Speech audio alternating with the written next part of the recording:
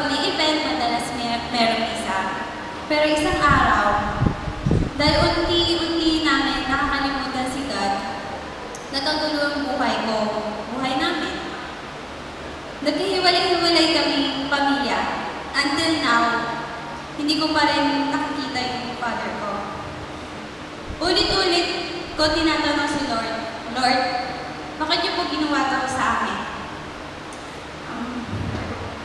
Bata pa lang po ako, tuwing nagsisimba kami ng tita ko at mga pinsan ko. Yun, pala, yun po yung palagi nasa isip ko. Every year, laging magulo at nababawasan yung paglabas namin at pag-alala kay Lord. Noong nag-high school, mag-high school po ako, dito ko po pinili sa LTC. Ah, natatandaan ko po nung time po na yun, ah, yan po, kaya ko po pinili dito sa LTC kasi nandito yung crush ko. Pero hindi ko alam, inamit pala yun ni Lord. Noong second high school ako, grade 8 na po tawag na yun. Naging rebelde bata po ako. Puro selfie, text, social media, mag-aaral lang kung kailangan, dala, barkada, boyfriend. Pero nung dahil sa katigasan ng ulo ko, meron akong hindi inaasahan na pangyayari. Buong school.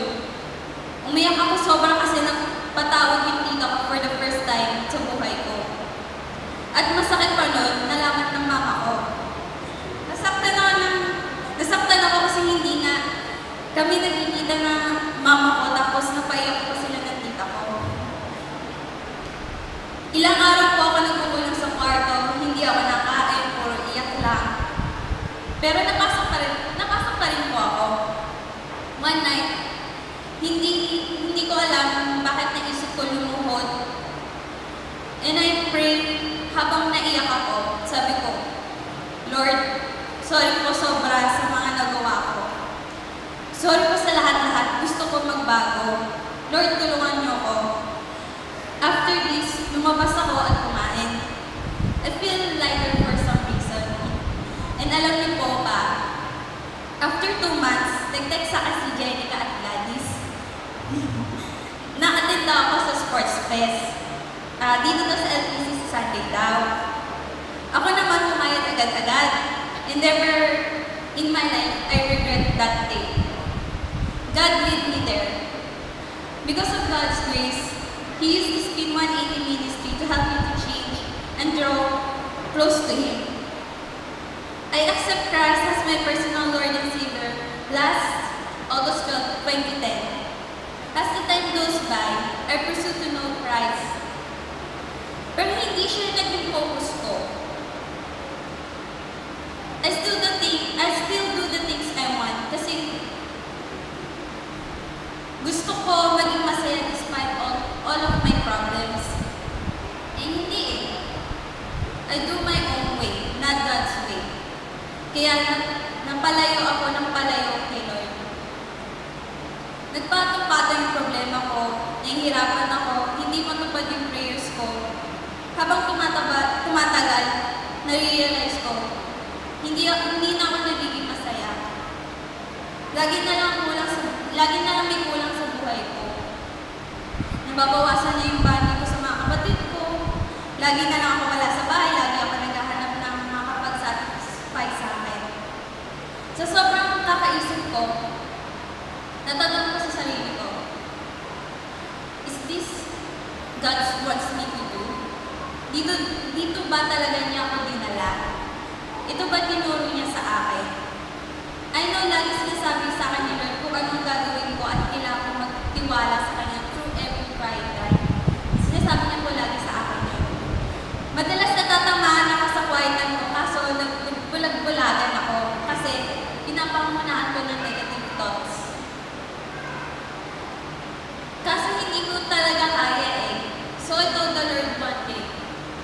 Dear Heavenly Father, sorry for not trusting you.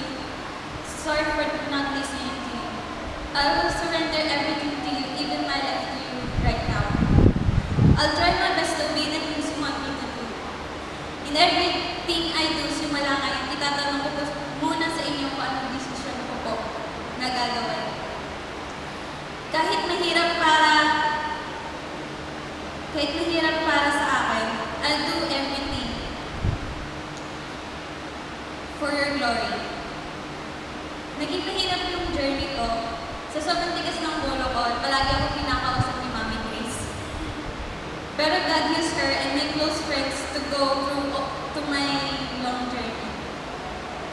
Marami nagbago since those days. Nakaka-attend na ako ng service na hindi na napapagalitan ng tita ko. At the same time, nakapag-small group na po ako. I even got a ministry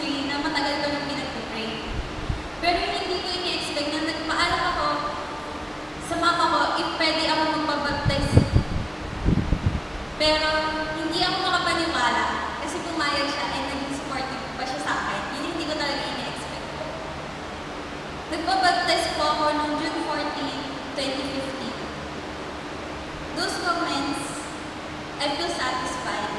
I feel so happy serving and doing, doing it for the Lord. Parang si Peter, kahit nagkasala na tayo ng malaki, still God led us to serve Him and share our testimonies to other people and show them how gracious is God. Share ko lang po yung nare-realize ko po during those days. Para tayong base, nababasag, nababasag dahil failure tayo or dahil sa problema natin. And akala natin hindi na tayo mabubuo.